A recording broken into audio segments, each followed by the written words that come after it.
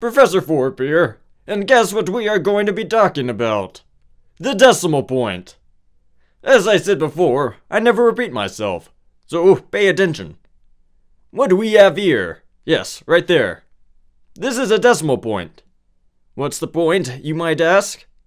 Well, the numbers to the right of the decimal point are smaller than 1. Even though you may be tempted to ignore those little guys, remember, it's the little things in life that count. So let's count those little things called decimal numbers.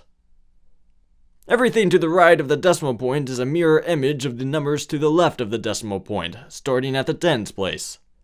Here's the tenths place, the hundredths place, thousandths place, ten thousandths place, one hundred thousandths place, millionths place, ten millionths place, one hundred millionths place, billionths place.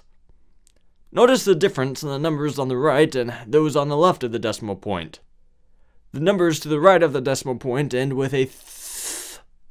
These decimal numbers are the same as fractions. Eight tenths can also be written like this. Eight hundredths can look like this. Eight thousandths looks like this. Here you have eight ten thousandths, eight one hundred thousandths, eight millionths, eight ten millionths, eight one hundred millionths, eight billionths, and so on.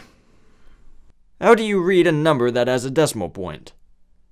Well, numbers that are bigger than 1, to the left of the decimal point, are called whole numbers. 243 is a whole number. Read the number to the left of the decimal point, 243, and then say AND when you see the decimal point. Next, look at the numeral at the far right and figure out its place value. In this number, the 2 is in the thousandths place so you would say 862 thousandths. So here you have 243 and 862 thousandths. There you have it, the decimal point. Without them, numbers would be pointless. Now you know how to read big numbers and small numbers. Remember, a number is a number no matter how small. Until next time, be sure to learn new information daily.